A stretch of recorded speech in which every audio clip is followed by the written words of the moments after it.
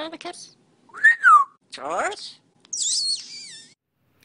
Hi guys, my name is Marlene Mc'Cohen and welcome to Parront Tip Tuesday. Uh, for those of you guys who follow my videos, you know that this is Vinny. I'm gonna give him that to keep him busy. And this is Picasso. Picasso. Just in case this is a long video, they might be interested in playing with these things. If you follow me regularly, you probably saw that I just put up a Storytime Sunday. Sunday? It's Tuesday. I know.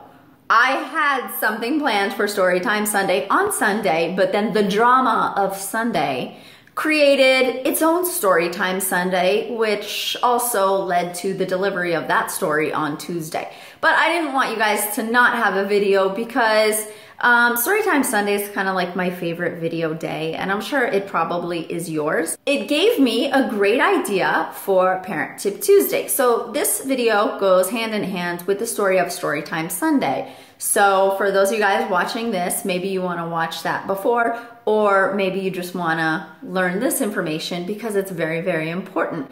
But long story short, Rocky flew away on Sunday and I wasn't even in town. And so that is the story of that in case you guys want to watch what happened. I hope you're watching this video um, now before something happens to your bird because you want to have this information ingrained in you and know what to do real quick in a situation, right? And I want you to watch this video completely throughout, no matter what, because it's so good to be prepared and you'll be thankful that you are prepared in these situations. If you're just losing a bird right now and you're watching this video, I can't guarantee that this video is gonna be fast enough for you because I wanna lay down all the important facts as clearly as I can, but I will try to write as much as I can in the description.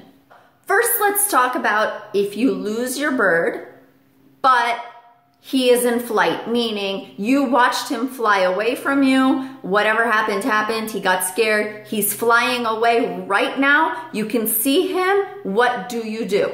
The first thing is do not panic and try to run to where he is because you may lose sight of him.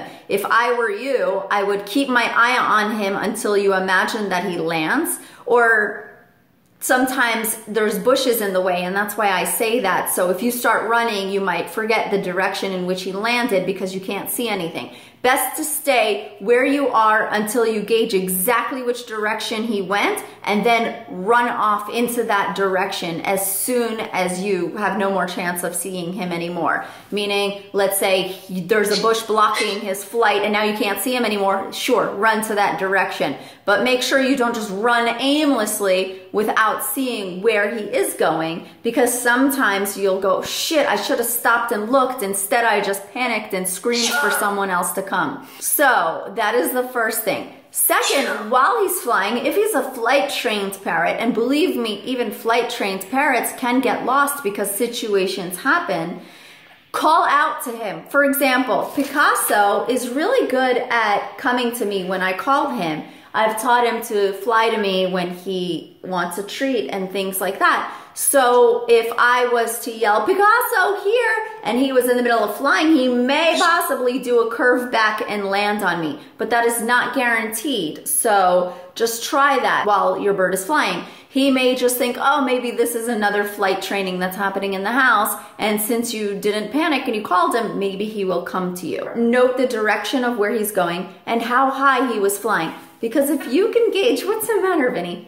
If you can gauge how high he is, maybe you could tell if he's gonna land soon. So when you get to that area, you know if he should have landed by then, if he's tired, if he usually doesn't fly that far. Note all of that information. It's really important. Vinny's like, yeah, yeah, yeah. Now let's say you do not see your bird. For whatever reason, maybe you didn't even see him fly away, but you know that he's gone and you need to find him. Well, I would call every single person that you know. You gotta spread out and check everywhere that you can. Trees and sometimes under bushes. Sometimes birds land and then they go hide under things. So it's really important to check just as much high as it is low. That's uh, one thing I want you guys to note, okay? And then, okay, it's okay. Remember this a bird when he first flies away tends to stay within one mile radius because that's how far they will go just for like the first day or the first week. They usually won't go farther than that. So first thing you do is you get a group of people you spread out you call the bird. Now, if you haven't lost a bird yet and you're watching this video, um, it would be really good to train your bird something that they respond to. One time we lost a conure that was trained to respond when we would go like this, shh, and he would scream. And the great thing about that is that he was so green. There's no way we would have found him in those tall trees. But we did because when we did that noise, he would scream and he was accustomed to it. So if there's something that your bird will respond to, think quickly what it is that they like to respond to and do that noise as much as you can. With that being said, have you ever played a video of your bird for your bird? It's a really good idea to have your bird calling on, his, on your phone, like a recording of it. When I play back a video for Cody or Vinny, um, it's almost like they know what they're gonna say next in the video and they start responding to it. So it would be great if you have that with you always on your phone so that while you're looking for your bird, you can play that noise and see if he responds to it like he does in the house. Now, um, remember guys, birds tend to be one person birds. So if there is somebody that your bird loves in the family, it's a great idea to get that person on board right away looking for your parrot. Same thing with if your bird likes um, another bird, then cage that bird up and bring him with you on the search. So for example, if God forbid Picasso was lost, I would bring Jersey because Picasso loves Jersey and loves to chase Jersey around, especially during certain seasons. So I know that if he saw Jersey, uh, he'd be much more likely to come down. Let me tell you guys what's going on right now. I wrote myself a note of a list to not forget anything, and Vinny is seeing it and he just wants to chew up the paper. So go ahead, chew that up. That's what he wants right now. So anyway, guys, so you want to bring that bird with you or that person with you. Now, remember, when you're looking for your bird, the goal is to find him before the sun goes down. When the sun goes down, your bird is gonna nest wherever he is and he's not gonna move for the night. However, before the sun goes down, he might take one last flight, which might be a great chance for you to get him. If you've located your bird and you do see him and you know where he is and it's nighttime and you have not gotten him down yet, then this might be a good time to call him and really make an effort to let him know that you're there. Now, sometimes when parrots see you, they get calm again. You know how it is, guys. When you're in the house and the bird sees you, he's calm. When he doesn't see you, he freaks out. It might be a good time to kind of hide where you still have your eye on him, but he doesn't have his eye on you. So you hide and if he gets frantic, he might be more motivated to come down and try to find you. If you're the bird's favorite person, you want everyone else to stay a little bit clear of you because sometimes birds won't approach crowds. But know your bird, know how he is. Another thing is if you see your bird, uh, it might be tempting to get a ladder to, you know, climb up and get your bird down, but a ladder may scare your bird. Be very, very aware. It might be safer to climb yourself up a little bit distance or hide the ladder so that he doesn't feel like this ladder is suddenly coming to him and he flies. Because remember guys, there's no guarantee that he'll fly down. And also, birds tend to fly up, so it might be scary for birds to fly down. So you have to really be like a MacGyver in knowing your bird and knowing how to get a hold of him once you have him. What are you doing? So once you have sight of him, you want to make sure that you don't lose your chances of keeping him in sight by putting anything scary there. There may be, let's say, uh, we do this with Thai sometimes. Sometimes Thai can be in an aggressive mode that is our lesser sulfur crested cockatoo. And um, he gets kind of angry at my mom just because, and he gets really territorial over certain areas like my my brother's bed and my brother and his girl's bed.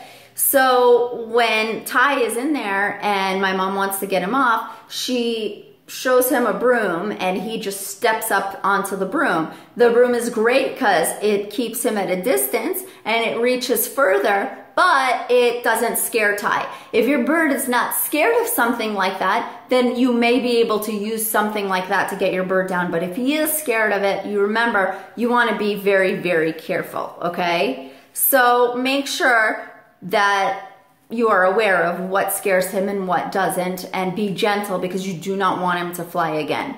Now, guys, very, very important. If you haven't located the bird yet and you know that he probably can't fly too far, but he probably landed somewhere like on a street or in a backyard, which is in most cases, if you don't have an extremely flighted bird, they can only fly so far and then they land. You want to knock on every single door, ask to get in the backyards, let everybody become aware. Now, I don't mean just the houses next to you. I mean the houses in front of you, behind you, and even in front of that. Because what I forgot to tell you guys in the Storytime Sunday story is that it wasn't the houses behind us, it was the houses on the street in front of the houses behind us that he was found in. So had we knocked on every single door right away, eventually they would have been like, yeah, I have a bird. So don't be afraid to go to like these 10 houses on the block, the 10 houses across from that, the 10 houses behind that, and the 10 houses in front of that because you just never ever know. The chances are most likely that somebody found your parrot and you are looking to find that person that found your bird. Most of the time, that is the situation or the person where the bird is in their backyard. So do not be shy, do not be afraid. The first thing you do with that big search is you call people to come help you. Anybody that's in the house, anybody that's your neighbor, you knock on all of the doors and you find out if anybody has seen any bird flying or anything suspicious, okay?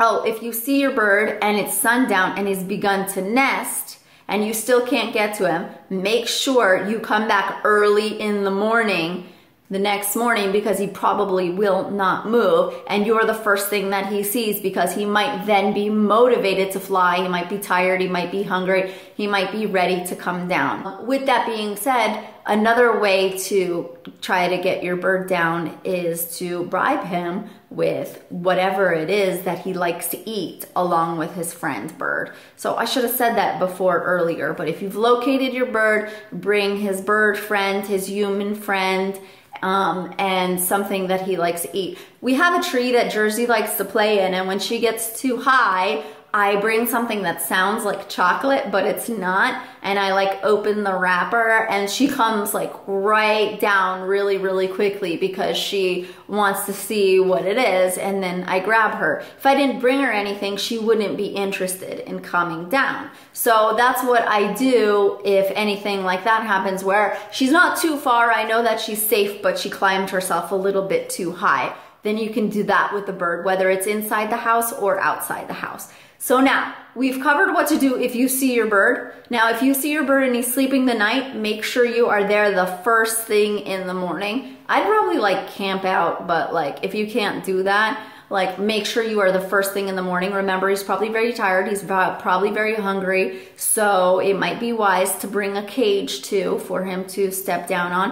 Um, a lot of people have had luck with bringing the bird's cage out too, just because he might feel safe. So I would go to sleep. If you think he's in your trees in your backyard, I would leave a cage um, somewhere where he can see it because he might be like, oh, that's my bed, so time to go to bed. And then just keep your eye out in case, you know, he gets in there because you want to obviously catch him, but most likely he's not going to move, right?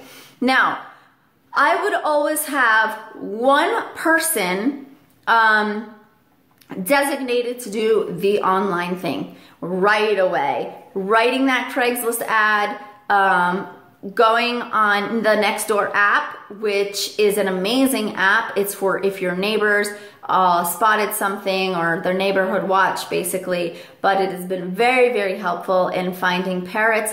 If they found a parrot or you lost a parrot, then normally somebody will be like, oh my God, this has got to be my neighbor's. Where do I go? And a lot of people will think of Nextdoor.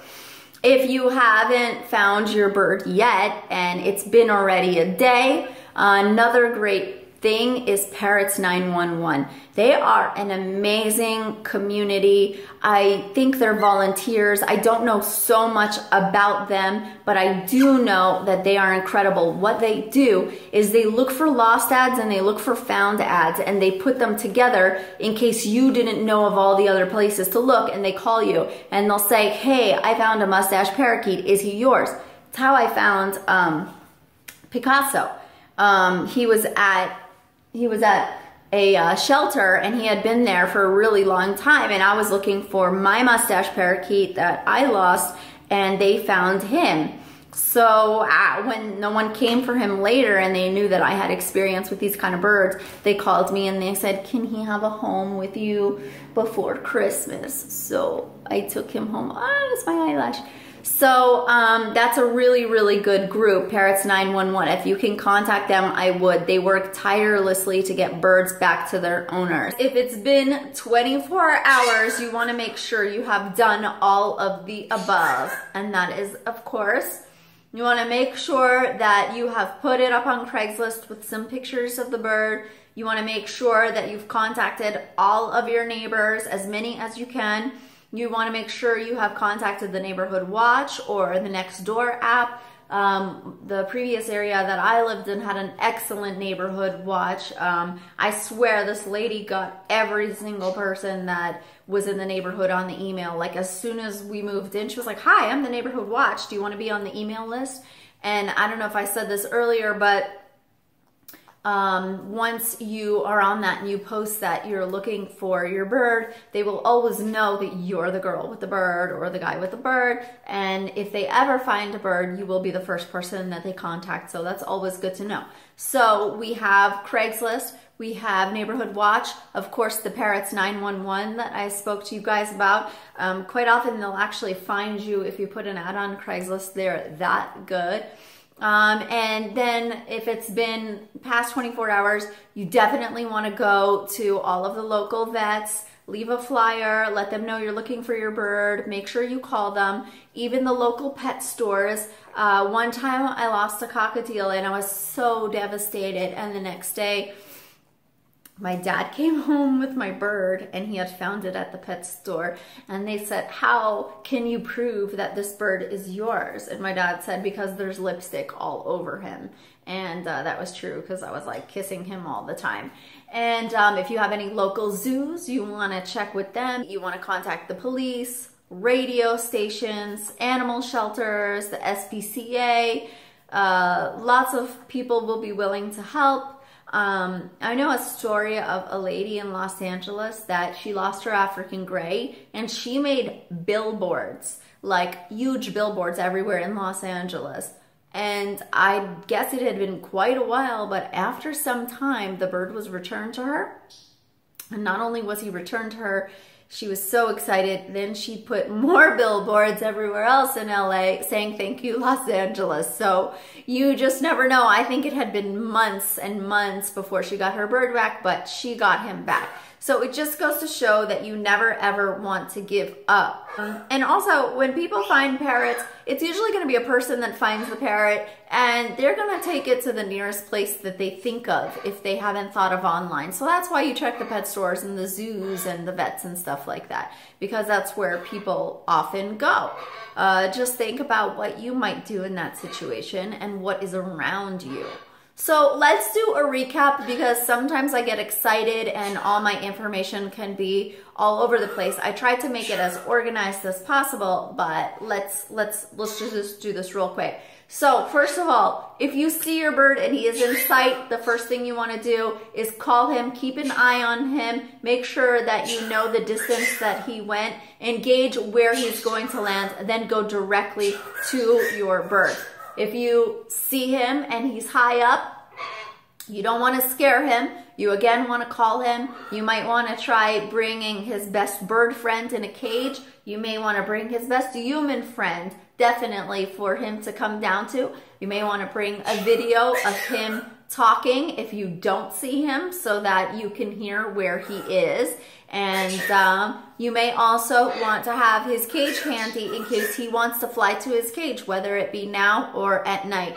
The goal is to find your bird before dark. If you have located him before dark, but you don't weren't able to get him down, you want to be there first thing in the morning. Um, just check Make sure the sun went completely down because he might do one last flight before he goes out. Most of the time, uh, most of you probably have birds that are not as flighted. See how he just kind of flew down? That's most of the time what they're gonna do. Vinny, what's it? Are you gonna get out the video? Come over here and I'll put you in the video.